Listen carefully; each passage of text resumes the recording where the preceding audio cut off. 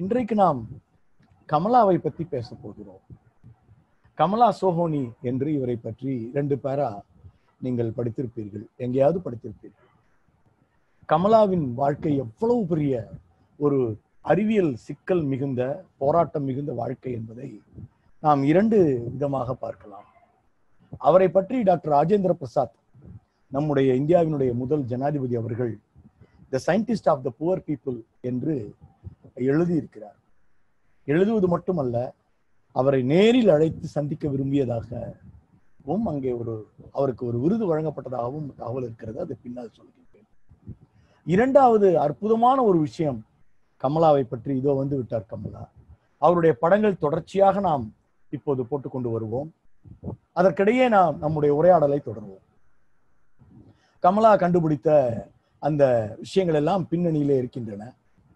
அதில் நீங்கள் ஒரு பனைமரத்தை பார்க்கிறீர்கள் அதில் என்சைம் வரையப்பட்டுள்ளதை பார்க்கிறீர்கள் ஆய்வுக்கூடத்தை பார்க்கிறீர்கள். கமலாவை பற்றி அப்துல் கலாம் நாம் எல்லாருக்கும் வேண்டிய அருமையான ஒரு கருத்தை சொல்லியிருக்கிறார். கமலா சகோனி தான் அறிவியலில் ஜான்சி ராணி இந்திய அறிவியலை பொறுத்தவரையில் ஒரு பெரிய பெண் போராளி அவர். மூணாவது வரி சொல்கின்றார் என்ன ஜான்சி ராணிக்கும் இவருக்கும் ஒரு வித்தியாசம் என்றால் ஜான்சி ராணி பிரிட்டிஷ்காரர்களை எதிர்த்து போராட வேண்டியிருந்தது. ஆனால் கமலாவோ தன் சொந்த சகோதரர்களையே ஏற்று போராட வேண்டியிருந்தது என்று எழுதியிருக்கிறார்.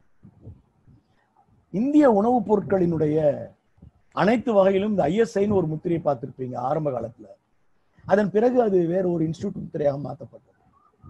இதுக்கு கலப்படம் மற்றும் கன்சியூமர் கோர்ட்கான் சம்பந்தப்பட்ட ஆய்வுகளை எல்லாம் வழங்கியவர் கமலா. இன்றைக்கு ஐநா சபை வருடத்துக்கு ஒரு முறை மால் நியூட்ரிஷன் பத்தி தனியாக ஒரு அறிக்கை வெளியிட்டு கொண்டிருக்கிறது.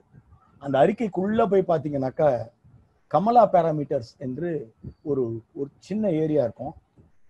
ஒரு குழந்தைகளுக்கு ஊட்டச்சத்து சம்பந்தமான அறிவியலில் கமலாவினுடைய பங்களிப்பு ஆச்சரியப்படும் வகையில் அங்கு பதிவு செய்யப்பட்டது இப்போது நாம் கமலாவின் வாழ்க்கைக்குள் நுழைவோம். யார் இந்த கமலா?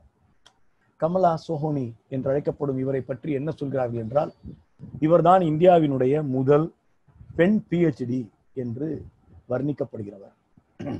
அந்த பெண் பிஹெச்டியை அவர் வாங்கியிருக்காவிட்டால் மற்ற பெண்களுக்கு இடம் கிடைத்திருக்காது. இன்னொரு ஐம்பது ஆண்டுகள் தள்ளி போயிருக்கும் என்று எழுதப்பட்டுள்ளது. இதெல்லாம் நம்முடைய நண்பர்கள் நேற்றும் இன்றும் என் உரை பற்றி பகிர்ந்து கொண்டதில் பார்த்தேன். குறிப்பாக பேராசிரியர்கள் சிலர் தங்களுடைய மாணவர்களும் ஆசிரியர்களும் இதில் கலந்து கொள்ள வேண்டும் என்பதற்காக மிக சிறப்பாக இந்த கருத்துக்களை பகிர்ந்திருந்தார்கள். அவர்களுக்கு என்னுடைய மனமார்ந்த நன்றி. கமலா பகவத் என்பதுதான் கமலா சகோனியினுடைய பெயர். கே பகவத் என்று அவர் வேண்டுமென்றே எழுதுவார். அப்பதான் ஒரு ஆம்பளை மாதிரி தெரியும் என்று நினைப்பார். எவ்வளவு வெட்கக்கேடான விஷயம். தன் பெயரை கூட எழுதுவதற்கு இந்த நாட்டில் பெண்கள் தயங்கினார்கள் என்பது எவ்வளவு பெரிய விஷயம். அது எவ்வளவு பெரிய அநியாயமும் கூட. இதை நாம் உணர வேண்டும் என்பதற்காக இதை சொல்லுகின்றேன். கமலா பகவத் பிறந்தது ஆயிரத்தி தொள்ளாயிரத்தி பன்னெண்டாம் வருடம் செப்டம்பர் பதினாலாம் தேதி இந்தூர்ல மத்திய பிரதேசத்தில் அவர் பிறந்தார். அவருடைய தந்தையின் பெயர் நாராயண ராவ் பகவத். அதனாலதான் அவர் கே பகவத் கமலா பகவத் ஆகிவிட்டார். கமலா பகவத் வந்து அவர் பிறந்த பொழுது நாராயண பகவத் தான் வந்து Indian institute of science Bangalore. அப்போது அது வந்து Tata institute of science Bangalore என்று அழைக்கப்பட்டது. அந்த Indian institute of science Tata institute of science என்று அழைக்கப்பட்ட நாட்களிலேயே அதுல சேர்ந்து படித்து முதல் குரூப்லேயே பட்டாதாரியானவர் நம்மளுடைய நாராயண பகவத் அவர்கள். நாராயண பகவத் அவர்கள். இந்த நாராயண பகவத் பத்தி நாம் பார்க்கின்ற பொழுது ரெண்டு விஷயங்கள் நமக்கு ஞாபகம் வருகிறது. இந்த கமலா சகோனி பின்னாட்களில் மிக சுவையாக ஒரு விஷயத்தை சொல்வார் I don't know about others அவர் ஒரு தூரம் சொன்னார். ஆன் சயின்டிஸ்ட்லாம் உட்காந்தாங்க my first laboratory was kitchen என்று சொன்னார். அவங்க வீட்டில் இருந்த சமையல் அறைக்குள்ள ஒரு ஐந்து வயதிலேயே அவர் நுழைந்து விட்டார். அம்மாவோடு சேர்ந்து அங்கே அவர் அடிக்காத லூட்டி கிடையாது. லூட்டி என்று அதை சொல்கிறார் பயங்கரமா இந்த இதை போட்டா சாம்பார் இந்த கலர்ல வருது இது குழம்பு இதை போட்டா இந்த கலர்ல வருது என்று பலவிதமான ஆராய்ச்சிகள். மிக அழகாக ஆராய்ச்சி செய்வார். இதுல வந்து அப்பவே அவருக்கு வந்து பாத்தீங்கன்னா அந்த இது இருக்குங்கிறது இன்னொரு சாட்சி இருக்கு. அவங்க வீட்டுல அவரு நாராயணராவ் பகவத் இல்லையா?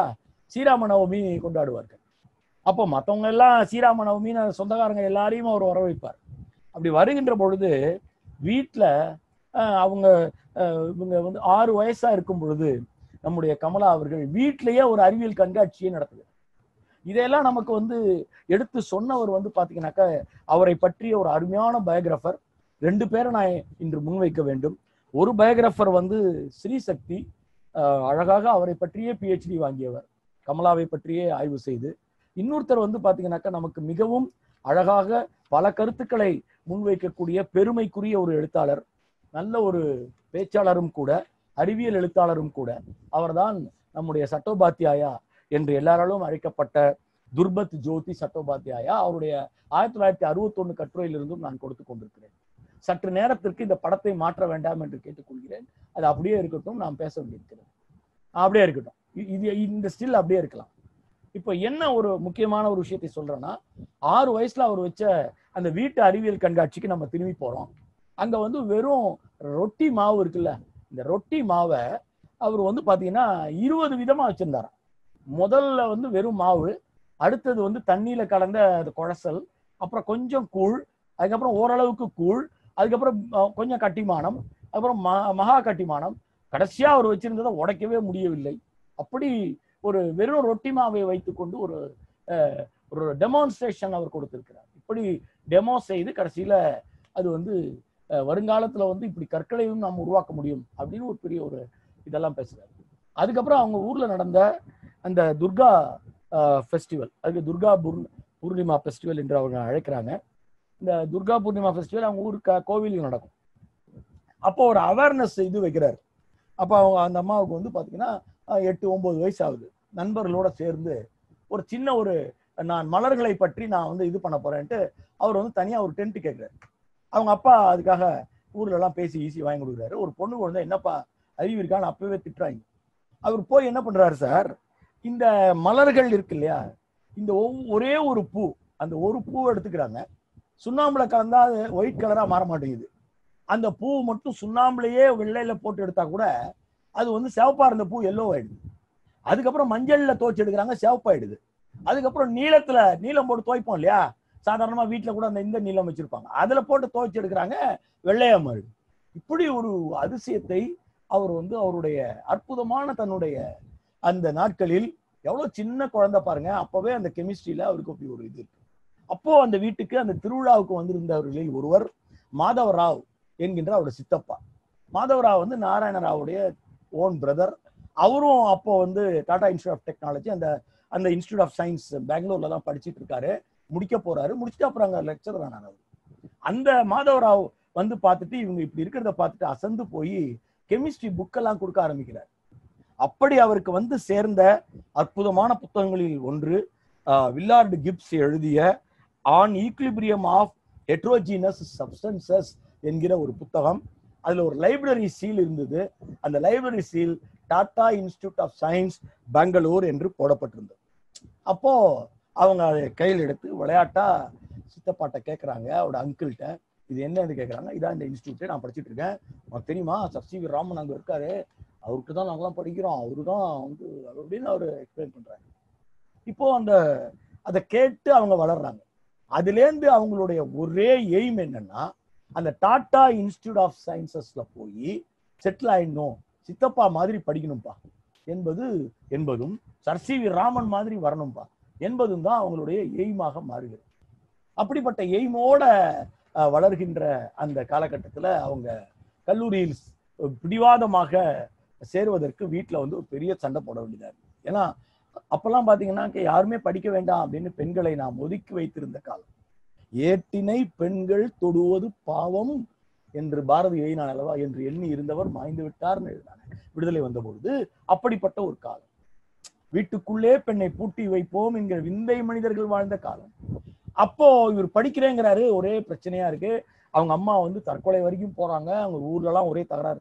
ஆனா பிடிவாதமா சென்ட் சேவியர் கல்லூரியில் அவர் சேர்க்கப்படுகிறார். அற்புதமான ஒரு காலேஜ் அது உள்ள நுழையறதுக்கு முன்னாடியே அவர் வந்து ரெண்டு புக்ஸ் படிக்கிறார். ரெண்டு புக்ஸ் வெரி வெரி இம்பார்ட்டன்ட் ஒன்று வந்து காந்தியினுடைய அவருடைய உரைகளை தொகுக்கப்பட்ட சின்னதாக ஒரு ஒர்க்கு சவுத் ஆப்பிரிக்கா ஆப்பிரிக்காவில் அவருடைய உரைகளை தொகுக்கப்பட்ட ஒரு ஒர்க்கு அதில் வந்து பாத்தீங்கன்னாக்கா டால்ஸ்டாய் பண்ணைகளை பற்றிலாம் அப்போ இருந்த காந்தி எழுதுகின்றார். சின்ன அப்பவும் காந்தி இளைஞர்.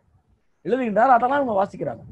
அப்போ வந்து இவங்களுக்கு வந்து காந்தி அறிமுகப்படுத்திய சின்ன சின்ன விஷயங்கள் எல்லாம் இவங்க இவர் தெரிந்து கொள்கிறார். ஓஹோ இப்படியா? அப்படி. ஒவ்வொரு விஷயத்தையும் போராடி காந்தி எப்படி அடைந்தார் என்பதை அதுல படிக்க முடியுது அந்த கட்டுரைகள். அதுல வந்து பாத்தீங்கன்னாக்கா நான் கோஆபரேஷன் எல்லாம் பத்தி எழுதுறாரு காந்தி. அப்ப கல்லூரிக்குள்ள நுழையிறாங்க. அவர் படிச்ச இன்னொரு அஹ், ஒரு அற்புதமான புத்தகம் தான் இந்தியாவினுடைய தாவரங்கள் பற்றிய ஒரு புத்தகம் படிக்கிறார். இந்த ரெண்டுமே அவருக்கு வந்து கான்ட்ராஸ்ட் என்ன கான்ட்ராஸ்ட்னா மராத்தி மொழியில அவர் படிச்சது தாவரம் பத்தின புக்கு. எல்லாமே அந்த ஊர்ல மத்திய பிரதேசத்துல இருக்கக்கூடிய எல்லா தாவரங்களை பத்தியும் அவருக்கு தெரிய வரும் காந்தியை பத்தி படிச்சது இங்கிலீஷ்ல. ஸோ ரெண்டு லாங்குவேஜுமே ஷி வாஸ் வெல் வர்சட் என்பது தெரியுது. எப்போ? காலேஜ் நுழையத்துக்கு முன்னாடி. காலேஜுக்குள்ள நுழைந்த பிறகு என்ன ஒரு பெரிய விஷயம்னா நூத்தி ஐம்பத்தொன்பது பாய்ஸ் அஞ்சே கேர்ள்ஸ் அதுல இவங்களும் ஒருத்தர். அந்த காலகட்டத்தை நான் நினைத்து பார்க்கிறேன். நம்ம ஊர்ல வந்து முத்துலட்சுமி ரெட்டி ஸ்கூலுக்கு போன காலகட்டம் அது. அவங்க போய் திண்ணை ஸ்கூல்ல எல்லாரும் பாய்ஸ் அவங்க ஒருத்தவங்க தான் கேர்ள் அப்படி படிச்ச காலகட்டத்துல இவங்க அஞ்சு கேர்ள்ஸ் இருக்காங்க. அப்ப என்ன ஒரு பெரிய விஷயம்னா அந்த காலகட்டத்துல ஃபர்ஸ்ட் செமஸ்டர் நடக்குது. எவ்வரி சப்ஜெக்ட்ல அவங்க ஃபர்ஸ்ட் மார்க் அடுத்த செமஸ்டர் நடக்குது எவ்ரி சப்ஜெக்ட்ல ஃபர்ஸ்ட் மார்க் இப்படி ஒவ்வொரு சப்ஜெக்ட்லயுமே கெமிஸ்ட்ரி டிபார்ட்மெண்ட்டை பொறுத்த வரைக்கும் she tops tops tops tops physics தான் அவங்களுக்கு ஆன்சிலரி ஆன்சலரி ஃபிசிக்ஸில் வந்து இதுவே ஒரு முக்கியமான விஷயம். கூப்பிட்டு அவரை ஃபிசிக்ஸ் சேர சொல்லி தான் எல்லாரும் கேட்குறாங்க மேக்ஸ் சேர்ந்துருங்கன்னு எல்லாரும் சொல்கிறாங்க ஏன்னா அப்போல்லாம் பெண்கள் மேக்ஸ் படிக்கலாம். மேக்ஸ் தவிர பிரிட்டிஷ்காரங்க என்ன வச்சுருந்தாங்க தெரியுங்களா உங்களுக்கு? ஹோம் சயின்ஸ் வச்சுருந்தாங்க கேர்ள்ஸ்க்கு மற்றதெல்லாம் கேர்ள்ஸ் படிக்கக்கூடாதுங்கிறது தான் பிரிட்டிஷ்காரங்களுடைய நிலைப்பாடாகவும் இருந்தது. பிரிட்டனில் கூட. நீங்கள் இங்கே பேசாதீங்க. அங்கேயும் அதே தான் நிலைமை. அப்போ இவங்க வந்து தைரியமாக எனக்கு கெமிஸ்ட்ரி தான் வேணும்னு பிடிவாதமாக எடுக்கிறாங்க. அவங்க அப்பாவுனாலதான் அது கிடைச்சது. ஏன்னா அவரும் படிச்சவர் இல்லையா? அதனால அங்க கொடுத்த ப்ரெஷர்ல அவங்களுக்கு கிடைக்குது. பிசிக்ஸ்ல வந்து சென்டம் அடிக்கிறாங்க. எப்போ? அப்போ. ஆன்சிலரி சென்டம் இதுல வந்து கெமிஸ்ட்ரியில எல்லாத்துலயும் டாப் மார்க் அப்படி வரும்பொழுது தான் அவங்களுடைய ஃபர்ஸ்ட் பேப்பர் அவங்க எழுதுறாங்க. பீகார்ல நமக்கு அப்போ வந்து சுகர் கேன் ஃபேக்டரிஸ் வந்துருச்சு சரண்கிற பகுதியில.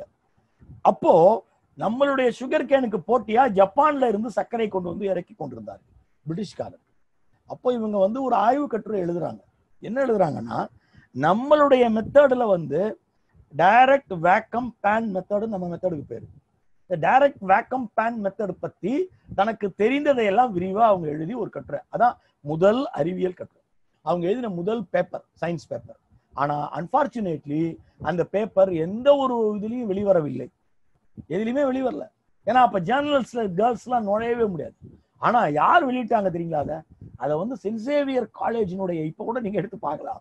நெட்டில் இருக்கு. சென்சேவியர் காலேஜினுடைய ஒரு இயர்லி ஜர்னல் ஒன்று வரும். அதில் போயம் எழுதலாம் என்ன வேணா எழுதலாம். இப்போ நீங்கள் கூட அந்த மாதிரி காலேஜ் வாழ்க்கையில் நீங்கள் நிறைய எழுதியிருப்பீங்க. இப்போ கூட நம்ம கல்லூரி மாணவர்களை வச்சு ஜர்னல்ஸ் போடுறோம் இந்த காலேஜ் மாணவர்கள் எழுதுகின்ற ஜர்னல்ஸை மட்டும் நான் போகிற இடமெல்லாம் கேட்டுக்கொள்வது என்னவென்றால் சயின்ஸுக்கு தனியாக கொண்டு வாங்க. உங்கள் குழந்தைகளுடைய ஆவி பேப்பரை நீங்கள் ரெண்டு மாதத்துக்கு ஒரு தடவை கூட வெளியிடுங்கள் என்று நான் பேசிக்கொண்டே இருக்கிறேன். இதைத்தான் அறிவியல் பலகையும் உங்களுக்கு சொல்ல விரும்பும். ஏனென்றால் இது இதுல தான் சயின்ஸோட இம்ப்ரூவ்மெண்ட் இருக்கு. அப்போ கமலா ஃபர்ஸ்ட் பேப்பர் வெளிவந்தது சென்சேவியர்ஸ் ஜர்னல் அவங்களுடைய ஜர்னல்ல அது வெளிவருது. ஆயிரத்தி தொள்ளாயிரத்தி முப்பதாவது வருடம் வெளிவருது. முப்பத்தி மூணுல கோல்டு மெடல் வாங்குறாங்க. பிஎஸ்சி கெமிஸ்ட்ரியை வித்து அவங்களுடைய இதோட முடிக்கிறாங்க. அப்படி முடிச்ச பிறகு அவங்களுடைய ஒரே எய்ம் என்னன்னா அங்க Indian institute of science Bangalore Cersei விராமன் தான். வேற எதுக்காகவும் அவங்க படிக்கல. அவங்க படித்ததே அந்த இன்ஸ்டியூட்டுக்கு போகிறதுக்கு தான். ஒரு கையில் வந்து லைப்ரரி புக்கு அந்த Indian institute of science library book அவங்க பையிலேயே வச்சுருப்பாங்களாம். நான் சொன்ன அந்த புத்தகத்தை. அந்த புக்கு இன்னொரு கையில் கோல்டு மெடல் அவங்களுடைய merit first rank merit certificate இதெல்லாம் எடுத்துக்கிட்டு அவங்க கிளம்புறாங்க. அப்போ அவங்க அப்பா சொல்கிறாரு அம்மா அங்கெல்லாம் அப்ளை பண்ணாதம்மா உனக்கு அதெல்லாம் கிடைக்காதுமா அதெல்லாம் வந்து அப்படின்னு இருக்கிறாரு சித்தப்பா சொன்னாரு நீ கம்பு அப்படின்னு சொல்றாங்க. அம்மா வந்து சொல்லி பார்க்குறாங்க சரி வாங்க நம்மளும் போவோம்னு ரெண்டு பேரும் இவங்களோட பிடிவாதத்தை கேட்க முடியாம தை அவங்க பெங்களூர் கிளம்புறாங்க. பெங்களூருக்கு வந்துட்டாங்க. இப்போ நம்ம Indian institute of science Bangalore. அவங்க அப்ளை பண்ணது எம்எஸ்சி ரிசர்ச் ஃபெலோஷிப் பிஹெச்டி அல்ல. எம்எஸ்சியே அப்ப கஷ்டம். நான் இங்கே ஒன்று பதிவு செய்ய விரும்புகிறேன் அவங்க நுழையத்துக்கு போகிறாங்க அங்கே போனால் எவனும் அப்ளிகேஷனை வாங்க மாட்டான் ஆனால் இவங்க என்ன பண்ணிட்டாங்க? அந்த தபால் பொட்டியில் போட்டு வந்துட்டாங்க. அதில் ஒரு கன்னிங்கான ஒரு வேலை செஞ்சுருந்தாங்க இவங்க. என்ன செஞ்சிருந்தாங்கன்னா இவங்க பேரை கமலா அப்படின்னு எழுதாம பகவத்னு எழுதாம கே பகவத் அப்படின்னு மட்டுமே பேர்லாம் எழுதி போட்டாங்க. அங்க போய் செலெக்ஷன் லிஸ்ட்டை பார்த்தா கே பகவத் தான் ஃபர்ஸ்ட் இருக்கு. அப்போ ஆஹா செலெக்ஷன்லேயே நம்ம தான் நம்பர் ஒன் அந்த மகிழ்ச்சி அவங்களுக்கு. அடுத்த நாள் காலையில் போகிறாங்க கண்டுபிடிச்சிடுறாங்க அதுக்குள்ள. அந்த அம்மா மிஸ் கே பகவத் அப்படின்னு அஹ், சுழிச்சு ராமன் எழுதியிருக்காரு. மிஸ் கே பகவத் என்று எழுதி ராமன் சுழித்திருக்கிறார். அதனால இவங்களை இன்டர்வியூ கூப்பிடல. வெயிட் பண்ணி வெயிட் பண்ணி பார்க்குறாங்க கடைசி வரைக்குமே இவங்களை கூப்பிடவே இல்லை. நம்ம பேர் தானே முதல்ல இருந்தது. நம்மளை ஏன் கூப்பிடலன்னு இவங்களுக்கு புரியல. உள்ளெல்லாம் போகிறாங்க வராங்க. ஒரே பரபரப்பாக இருக்குது கடைசியில் ராமனை சந்திக்க போகிறான் ராமன் உள்ள கூப்பிட்டு அனுப்புறாரு ஆளுங்க. நீ என்ன மாதவராவோட டாக்டரா அங்க ஏன்னா மாதவராவ் அப்பா அந்த லெக்சரரா இருக்கு. அவங்க இல்ல இல்ல அவர் எங்க சித்தப்பா அப்படின்னு சொல்றாங்க இவங்க. உனக்கு இங்க இடம் கொடுக்க முடியாதுமா? உனக்கு தெரியாது? இங்க இங்க வந்து உமன் cannot அப்ளை என்று ராமன் சொல்றார். அப்படியே was terribly shocked. ஒரு ராமன் நொபல் அறிஞர் அறிவியல் வித்தகர் எத்தனையோ விருதுகள் பெற்றவர் உலக அளவில் அறியப்பட்ட ராமன் கமலா என்கின்ற அந்த பெண்மணிக்கும் ராமனுக்கும் நடந்த போராட்டத்துக்குள்ள இப்ப நம்ம நுழையிறோம். ஆனா இதுக்கு முன்னாடி ஒரு விஷயத்தை நான் சொல்ல வேண்டும். எங்கு எங்க இருந்து சார் இந்த இந்தியன் இன்ஸ்டியூட் ஆஃப் சயின்ஸ் வந்தது? நாம அந்த வரலாறை பார்க்காம இங்க வரக்கூடாது. அதனால நான் எப்பவுமே அறிவியல் வரலாற்றாளர்களை கேட்டுக்கொள்வது என்னன்னா ஒரு விஷயத்தை நீங்க வந்து ஒருத்தரை பத்தி சொல்ல போறீங்க. இது ராமன் ஜெயிச்சாரா? கமலா ஜெயிச்சாராங்கிற இடத்துக்கு சயின்ஸை கொண்டு வந்து நிறுத்திடுது. இப்போ அப்படிப்பட்ட ஒரு விஷயத்தை எழுதும்போது நான் என்ன சொல்றேன்னா வாசகர்களுக்கு மேலும் மேலும் அவர்கள் புரிந்து கொள்ளும் வகையில தரவுகளை நீங்கள் உருவாக்கி தரணும். ராமனுக்கு என்ன நிலைமைங்கிறதையும் நீங்க சொல்லணும். வெறும் ஒரு ஆணாதிக்கவாதியாக அவர் இருந்தாரு ஒரு பாயிண்ட் சொல்றாங்க. அப்புறம் ராமன் ஒரு பிராமணர். அவருடைய இது வந்து ரொம்ப விவாதம் சொல்றாங்க. சொல்றாங்க சொல்றாங்க சொல்றாங்க இல்லப்பா. அது உண்மையா? அப்படின்னு பார்க்கணும். அதான் அறிவியல் எழுத்து. அறிவியல் எழுத்துல கொண்டு போய் வரலாற்று ஊகங்களை கொடுக்காதீங்க. வரலாறையே கொடுங்க. ஜாம்ஷெட்பூர் அப்படின்னு ஒரு ஊர் இருக்கு தெரியுங்களா? ஜாம்செட் ஜி டாடா அவர் வந்து டாடா ஸ்டீல்ஸ் அங்க ஆரம்பிச்சதுனால அந்த ஊருக்கே ஜாம்செட் ஜி டாட்டான்னு பேராகி கடைசியில ஜம்ஷெட்பூரா மாறி போச்சு. இந்த ஜாம்செட் ஜி டாட்டா சுவாமி விவேகானந்தர் வந்து ஆயிரத்தி எட்நூத்தி தொண்ணூத்தி மூணுல சுவாமி விவேகானந்தர் வந்து சிகாகோவுக்கு பயணம் பண்ணாரு இல்லைங்களா? அதே கப்பல்ல கூட போனவர். ரெண்டு பேருமா மொட்டை மாடியில கப்பல் கப்பல்ல மட்டும்தான் மொட்டை மாடி இருக்கும் வீடு மாதிரி. அங்க போய் நின்று கொண்டு இருவரும் உரையாடுகிறார்கள். வென் தேவர் டிஸ்கஸிங் அவரு நீங்க எங்க போறீங்கன்னு சுவாமி விவேகானந்தர் இவரை கேட்கிறாரு அப்ப சின்ன பையன் டாட்டா அவர் சொல்றாரு நான் வந்து அமெரிக்கா போய் ஆகணும். அங்க போய் நான் வந்து அங்க ஸ்டீல்ஸ் வாங்க போறேன். இந்தியாவில் விற்கிறதுக்கு நான் அங்க போய் இரும்பெல்லாம் வாங்கிட்டு வர போறேன். விவேகானந்தர் கேட்டாரு அங்க இருக்கிற இரும்பெல்லாம் அவங்களுக்கு எப்படி கிடைச்சதுன்னு கேட்டார். அப்போ ஜம்ஷெட் டாட்டா சொன்னாரு அவங்க இந்தியாலேயே கூட இரும்பு எடுக்கிறாங்க. எல்லா இடத்துல இருந்து எடுத்துட்டு அங்க போயிடுறாங்க. பிரிட்டிஷ்காரங்கள்ட்ட வாங்கிடுறாங்கன்னு சொன்னார். நீங்களே ஏன் இந்தியால வந்து இரும்பு எடுக்கக்கூடாது என்று விவேகானந்தர் கேட்டார். இந்த கேள்வியின் விளைவு தான் டாடா ஸ்டீல்ஸ். அப்போது அவங்களுக்குள்ள ஒரு ஒன்றரை மணி நேரம் டிஸ்கஷன் நடக்குது. இந்தியாவில் அது மட்டும் இல்லப்பா எல்லாரும் ஃபாரின்ல போய் ஏன் படிக்கிறான்? உனக்கு அறிவு இருக்கா? உன் பையனும் ஃபாரின் போய் படிக்கிறான் நீயும் ஃபாரின் போய் படிக்கிற. யார் யாரை பத்தியோ கேள்விப்படுற எல்லாருமே வெளிநாட்டுக்கு போய் அங்க போய் அறிவியல் டிகிரியா வாங்கணும். நம்ம ஊர்ல அதுக்கு ஒரு இன்ஸ்டியூட் இருக்க கூடாதா என்று சுவாமி விவேகானந்தர் கேட்கிறார். என்ன அற்புதமான விஷயம். இந்த மீட்டிங்ல உருவான பல இன்ஸ்டியூட்ல ஒன்றுதான் Tata institute of science Bangalore அந்த இன்ஸ்டியூட் ஆஃப் சயின்ஸ் பெங்களூரை உருவாக்கலாம் உருவாக்க வேண்டும் என்று ஜாம்சட்ஜி டாட்டா வந்து ஒரு விஷயத்தை முன்வைக்கிறாரு. அதுக்கு நான் பணம் செலவு பண்றேன்னு சொல்றாரு. அப்ப கர்சன் பிரபு அதை ஏற்றுக்கொள்கிறார். அப்படின்னா எந்த காலகட்டத்துக்கு வரும்? Nineteen naught five nineteen naught nine வரைக்கும் இழுத்துட்டு கிடக்குறாங்க. அப்போ திடீர்னு கர்சன் பிரபுவை போய் ஒருத்தர் சந்திக்கிறார் சார். அவர் பேரு த நிஜாம் ஆஃப் ஹைதராபாத் அவர் தான் மிசோமான் அலி கான் என்கிற ஒரு மா மனிதர் மிசோமான் Ali Khan who went who went to meet Lord Curzon நான் இந்த இன்ஸ்டியூட்டை நீங்க ஆரம்பிக்கிறதா இருந்தா மூணு லட்சம் ரூபாய் தருகிறேன் என்று அறிவிக்கிறார் வெரி இம்பார்ட்டன்ட் ஸ்டெப் சார் இவங்களெல்லாம் நம்ம மறக்க கூடாது இந்திய அறிவியலின் ஜாம்பவான்கள் இவங்க. இவர்கள் இல்லைன்னா இந்திய அறிவியல் இல்லை. மூணாவது ஆள் ஒருத்தர் போறாரு. அதுக்கப்புறம் அவரை வந்து ஜாம்ஷெட்பூர் டாட்டாவே கூட்டு போறாரு. அவர் யாருன்னா? மைசூர் மன்னர் கிருஷ்ணாராஜா வடையார் நம்பர் ஃபோர் அப்போ உடனே கர்சன் பிரபு என்ன பண்றாரு? சரி ஆரம்பிச்சிருவோம். அப்படி சொல்றாரு. அந்த இடம் எங்க ஆரம்பிக்கணுங்கிறத இந்தியாவில் இருக்கிற விஞ்ஞானிகளிடம் அவர் கேட்கவில்லை. சார் வில்லியம் ராம்சேவை வர வைக்கிறார். ராம்சேவை பத்தி கேள்விப்பட்டிருப்பீர்கள்? அற்புதமான மனிதர் நோபல் அறிஞர் பிசிக்ஸ்ல நம்பர் ஒன் பேர் பெற்றவர். அப்போ அவரை வந்து இந்தியாவுக்கு கர்சன் பிரபு வர வைக்கிறார். இந்தியா முழுக்க டிராவல் பண்றாங்க. பெங்களூர்ல ஒரு இடத்த வந்து அவர் செலக்ட் பண்றாரு. ராம்சே செலக்ட் பண்ணி நைன்டீன் நாட் நைன்லயே வந்துருச்சு சார். நைன்டீன் நாட் நைன்ல இருந்து முதல்ல டிராவல்ஸ் தான் அவருடைய ஃபர்ஸ்ட் டைரக்டர் ரெண்டாவது வந்து அவர் வந்து நைன்டீன் ஃபோர்டீன் வரைக்கும் இருக்காரு. ரெண்டாவது ப்ரௌன் ஒருத்தர். Sir A G Brown. கேள்விப்பட்டிருக்கோம் அவரை பத்தியும். அவர் ஒரு நல்ல சயின்டிஸ்ட் ஆனா பிரிட்டிஷ்காரன். இவங்க ரெண்டு பேருமே. நைன்டீன் டுவெண்ட்டி ஒன் வரைக்கும் இருக்காரு.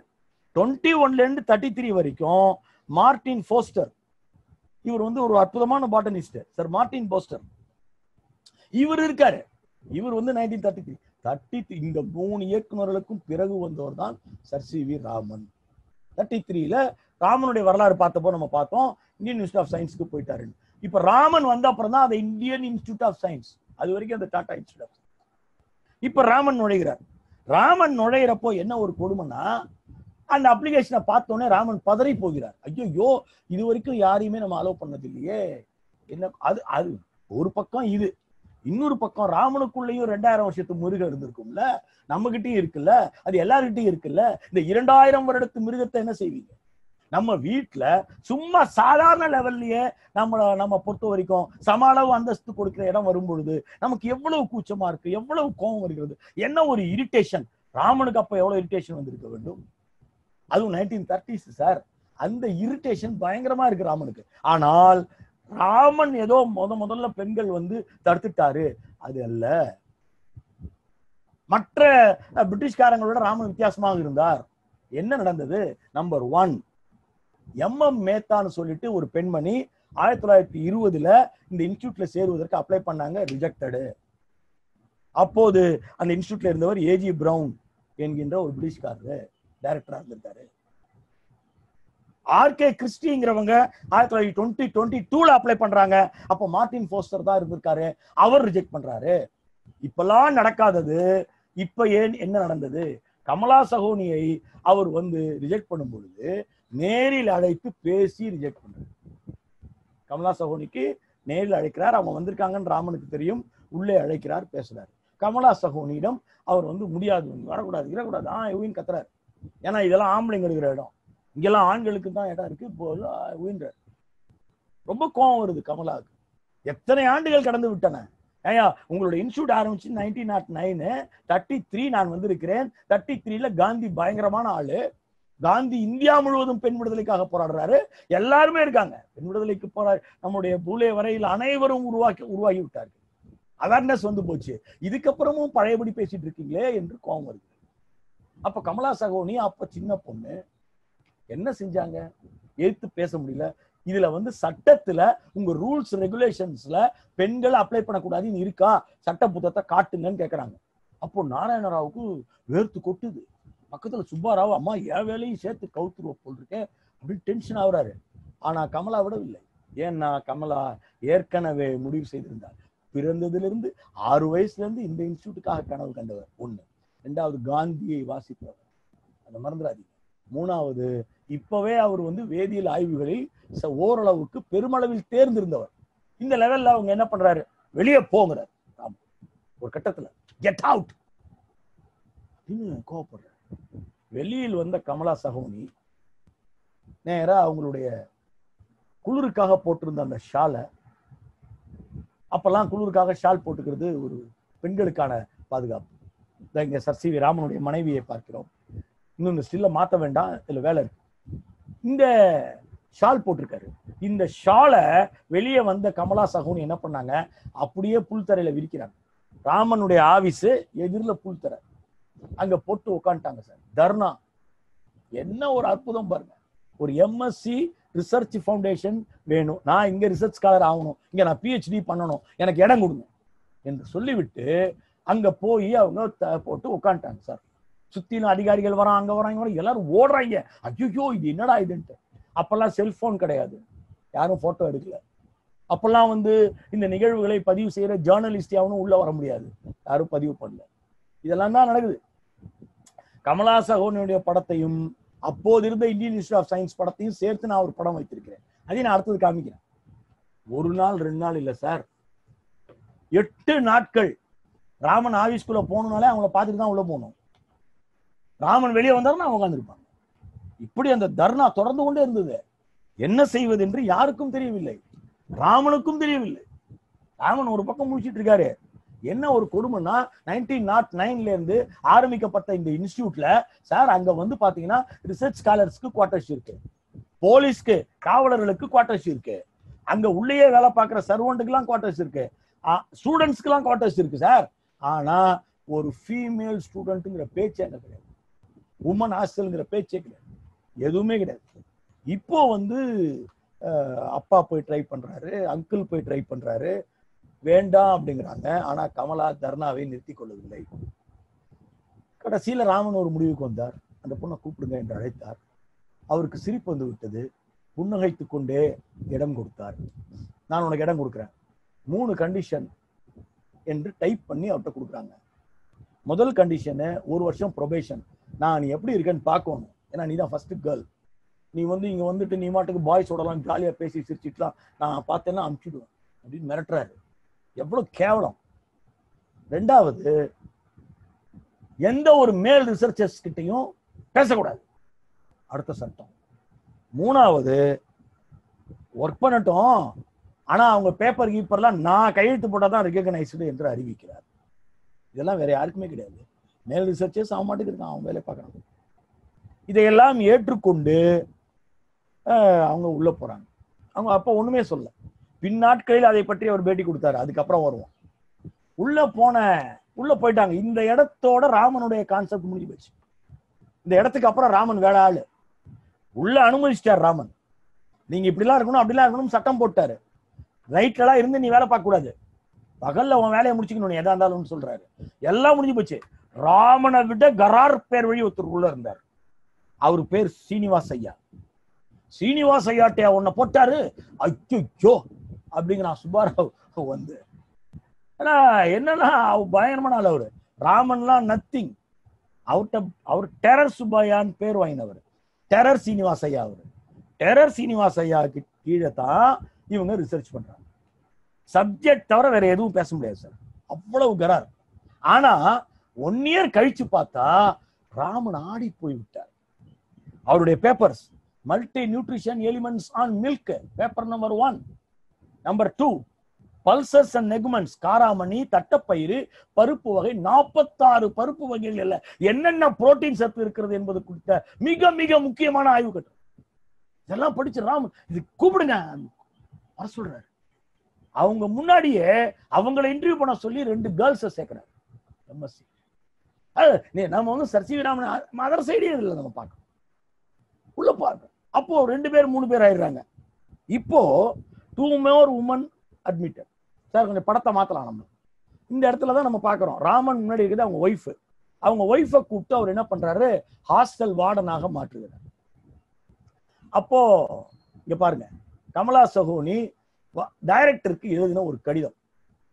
இது வந்து அவங்க அதுக்கப்புறம்லாம் பயங்கர தில்லு தான் மூணு பேர் ஹாஸ்டல் நாங்க நாங்க நாலஞ்சு பேர். அந்த நாலஞ்சு பேரோட படம் காமிச்சேன் அதான் அந்த ஹாஸ்டல் அந்த அந்த கேர்ள்ஸ் எல்லாம் அங்க இருக்காங்க. அதுல கமலா சகோனி ஒருத்தர். நாங்க இருக்கிறோம். எங்களுக்குன்னு தனியா ஒரு குவார்டர்ஸ் இல்ல. நாங்க ஒரு இடத்துல உட்காந்தா எங்களை போட்டு நீங்க மாட்டுக்கு பந்தாடுறீங்க. ஒரு நாளைக்கு ஒரு இடத்துல நாங்க இருக்க முடியும். எங்களுக்குன்னு ஒரு வார்டன் போடுங்க. அப்படின்னு ஒரு லெட்டர் எழுதுறாங்க. லெட்டர் ராமனுக்கு நேரடியா எழுதாம ராமனுடைய மனைவிக்கு எழுதி அம்மா இந்த லெட்டரை கொஞ்சம் டைரக்டருக்கு ஃபார்வர்ட் பண்ணிடுங்க என்று எழுது.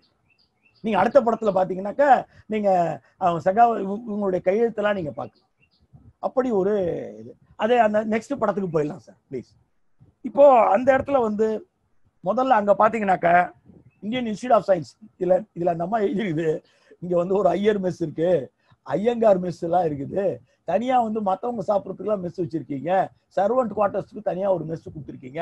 ஆனா பெண்களுக்கு மெஸ் இல்லை. கேட்டா பெண்கள் தானே நீங்க? நீங்களே சமைச்சு சாப்பிடுங்கன்னு சொல்றீங்க. அப்படின்னு அதுல எழுதியிருக்காங்க. இதெல்லாம் வந்து எவ்வளவு பெரிய போராடி ஒவ்வொன்றையும் கமலா அடைந்திருக்க வேண்டும்.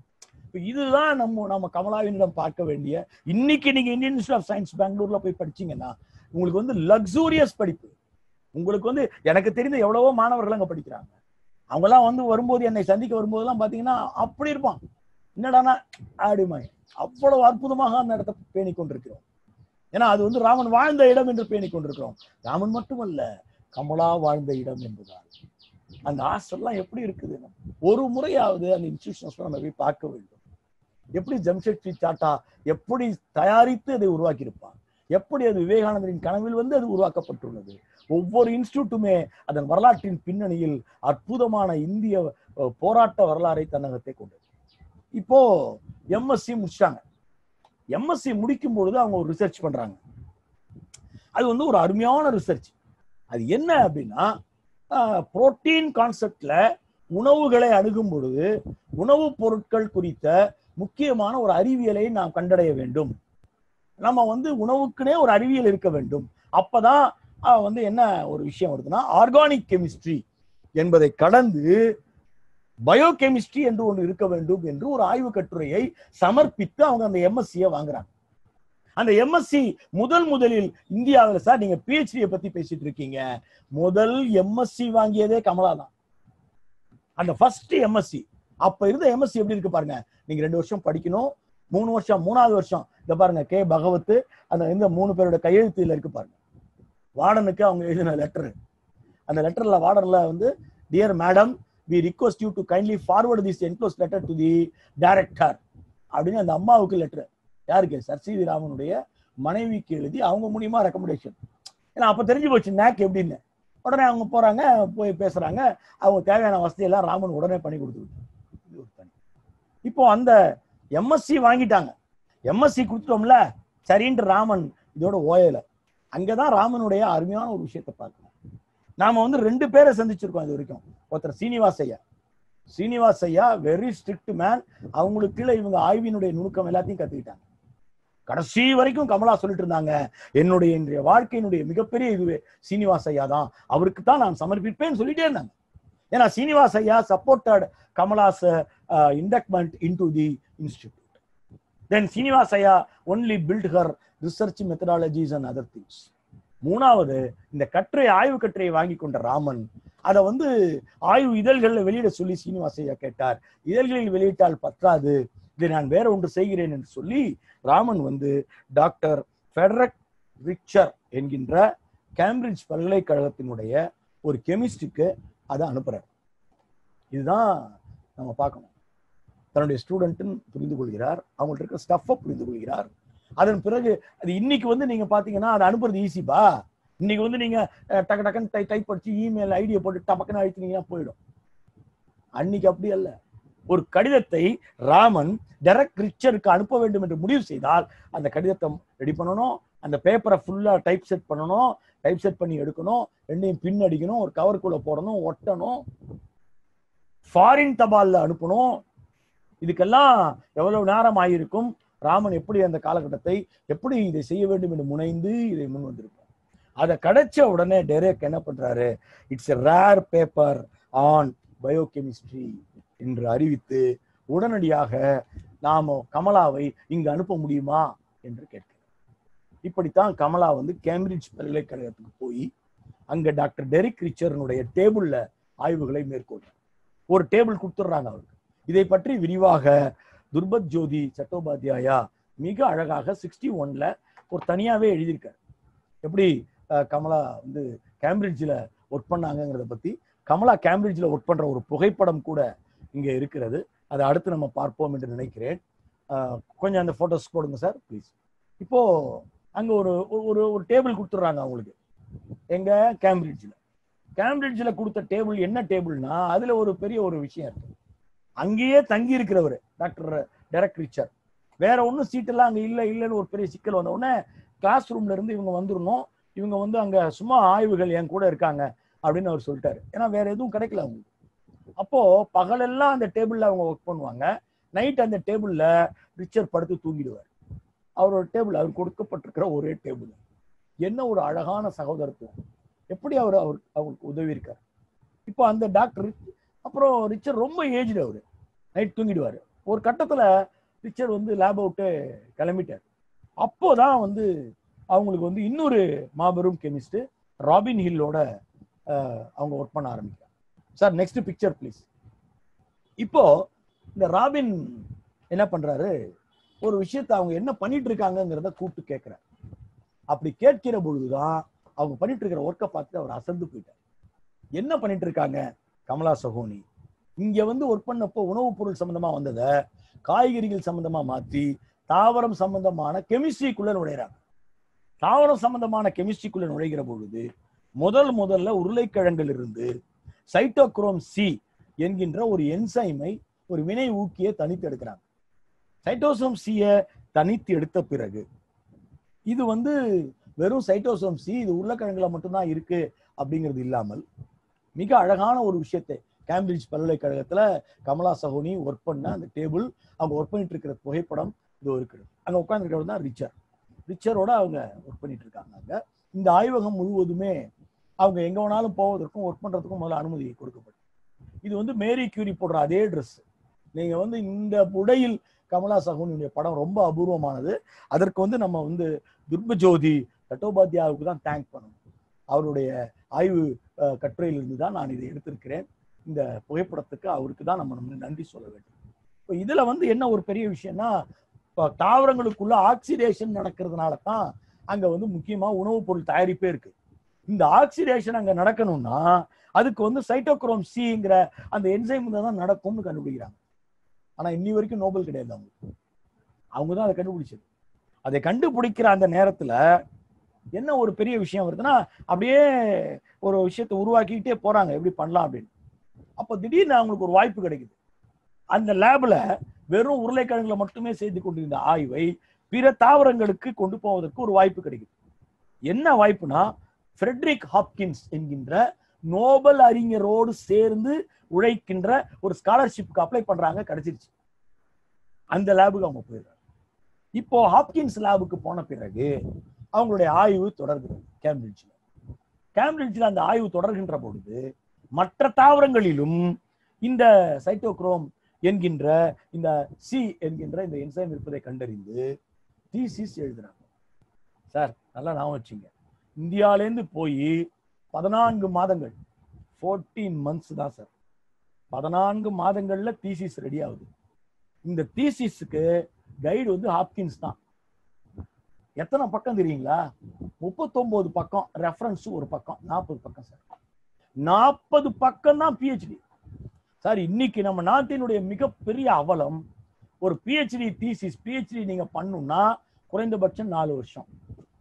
பதினாலு மாசம்லாம் இல்லை. இதை தவிர நூத்தம்பது பக்கத்துக்கு கம்மியா இருந்தா தீசிஸ் கிடையாது. அது இதுன்னு நம்மளே உருவாக்குன பல பல சட்டங்கள். இதுல அஞ்சு பிஹெச்டிக்கு ஒண்ணு கிடையாது இது கிடையாது அது கிடையாது. அந்த டாபிக் தனியாக பேச வேண்டியது இருந்தாலும் இங்கே ஒப்பிட வேண்டியிருக்கு. நம்ம பிஹெச்டி அவங்க பாருங்க. அவங்க ஒன்றுமே இல்லைங்க. நாற்பது பக்கம் இப்பயும் நெட்டில் இருக்கு. எடுத்து படிச்சு பாருங்க.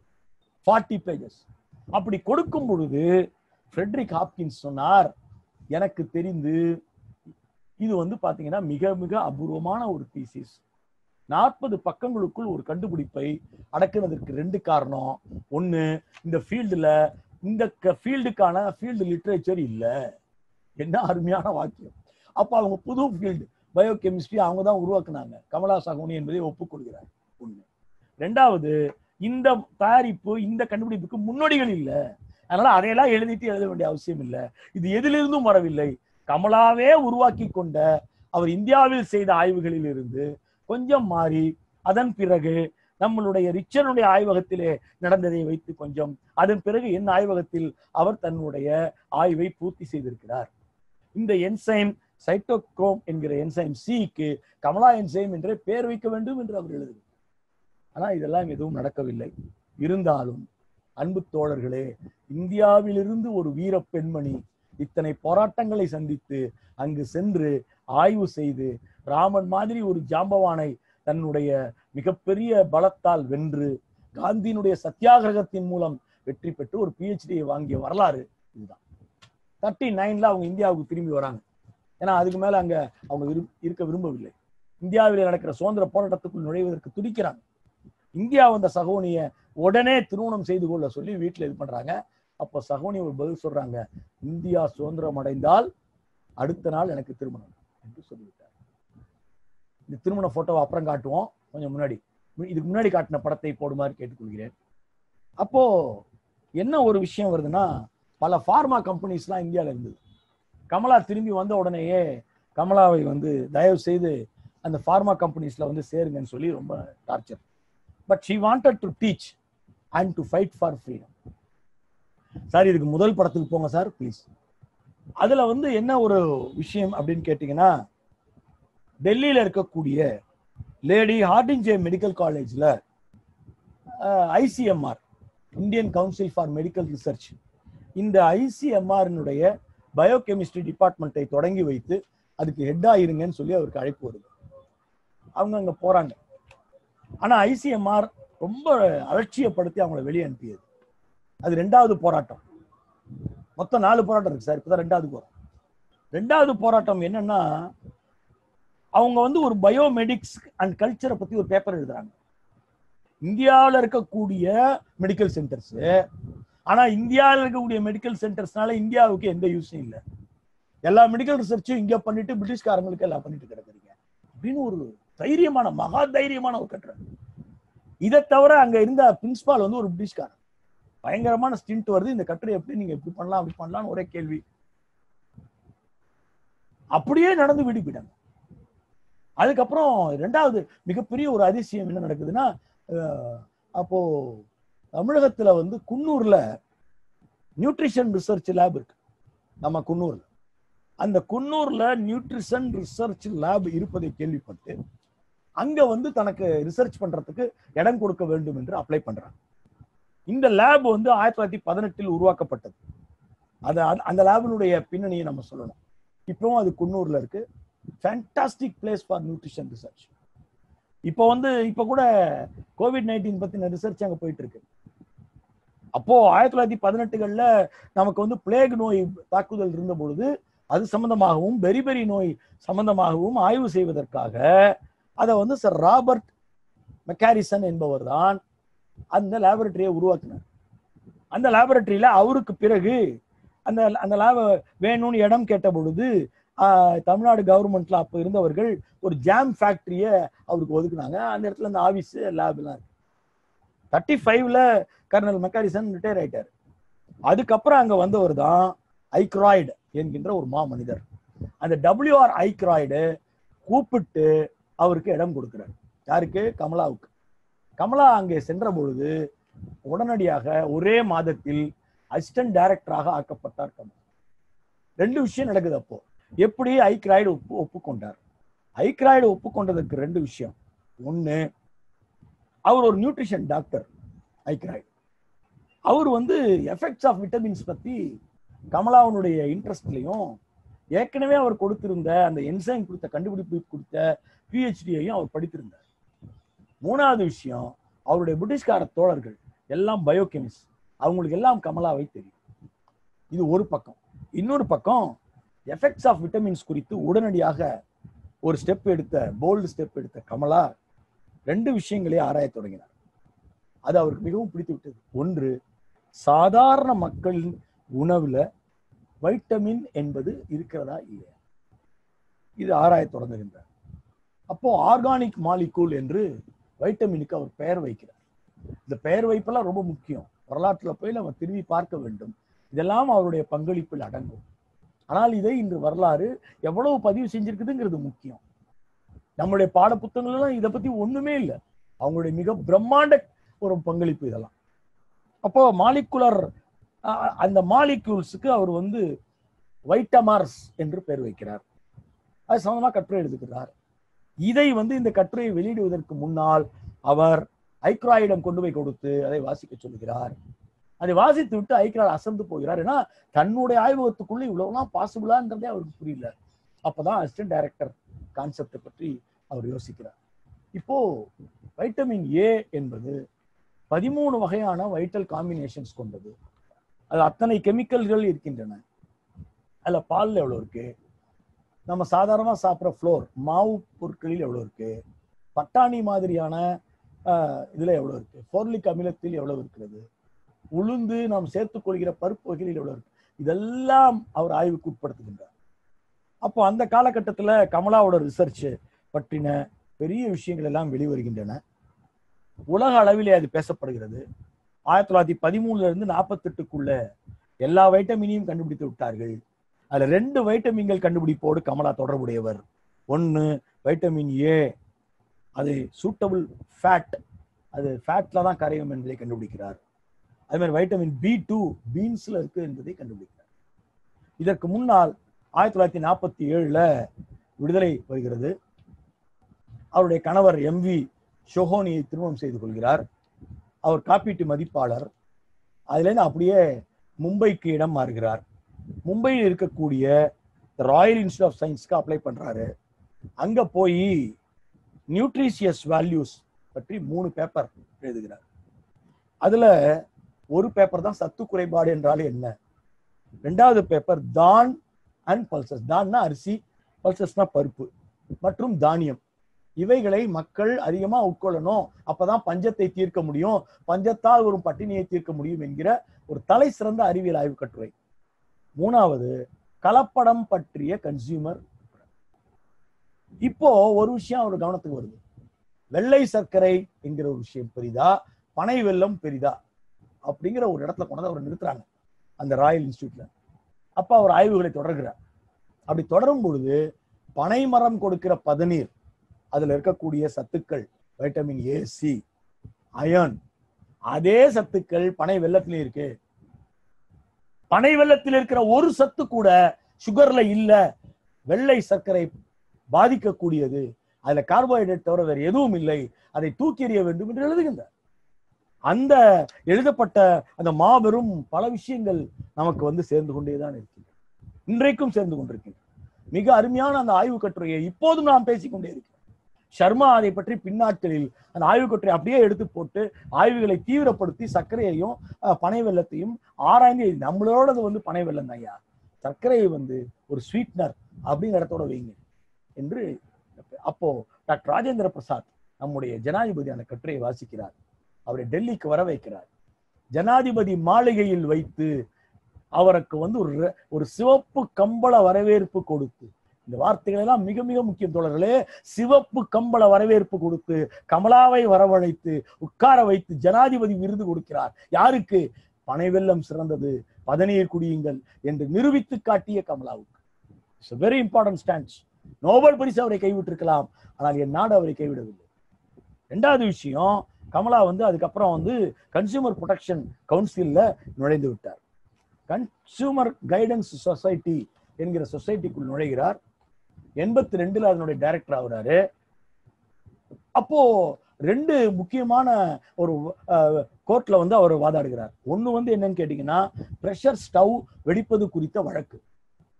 அதனுடைய அறிவியல் நுணுக்கங்களை ஆராய்ந்து இந்த ப்ரெஷர் ஸ்டவ்வை வந்து இவங்க செஞ்சிருக்கிறது ஒரு கலப்பட தாமிரத்தில் செய்திருக்கிறார்கள். அதனுடைய வேதியியலை முன்வைக்கிறார். ரெண்டாவது மிக மிக முக்கியமானது மார்க்கெட்ல இருந்தே சாம்பிள் கொண்டு வந்து டெஸ்ட் பண்ற முறை. அப்போ மாட்டிக்கிட்டது கடலை எண்ணெய். கடலை எண்ணெயில கருக்கம் விதை கருக்கம் விதை எண்ணெய்னு ஒன்று இருக்கு. நீங்க கேள்விப்பட்டிருப்பீங்க ஆர்ஸ்மினி ஆயில் அதை நம்ம ஆளுங்க வந்து நாய் கடுகுன்னு சொல்லுவாங்க.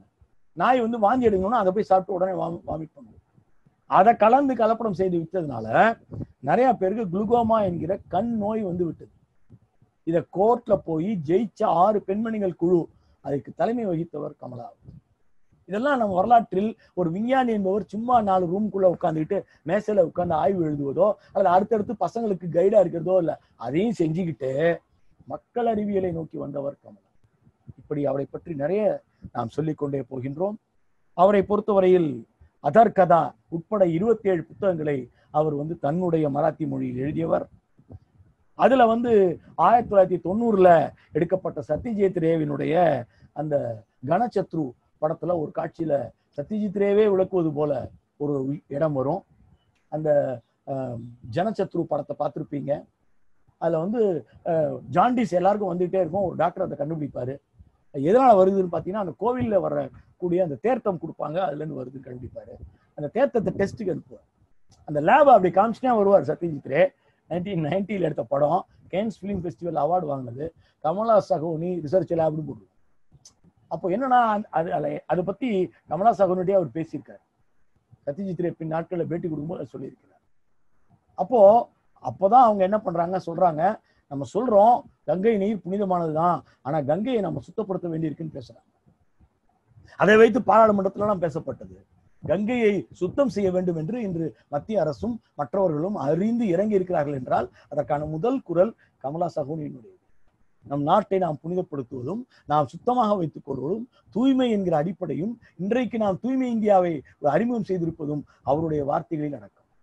இப்படியெல்லாம் போன அவருடைய வாழ்க்கை ஆயிரத்தி தொள்ளாயிரத்தி தொண்ணூத்தி எட்டில் நீங்க பாத்தீங்கன்னா அவரை எந்த இது வந்து அவமானப்படுத்தியதோ அது ICMR Indian council for medical research Delhi எப்படி அவர் வந்து ஒரு கல்ச்சர் இல்லாம பண்ணிட்டு இருக்கீங்கன்னு எழுதுறதுக்காக வெளியே அனுப்பப்பட்டாலோ அங்கே தலைமை பதவிக்கு வந்த மாபெரும் அறிஞர் சத்தியவதி அவரை அழைத்து பாராட்டு விழா நடத்துறாரு. அவர் எண்பத்தி நாலு வயசு கமலாவுக்கு.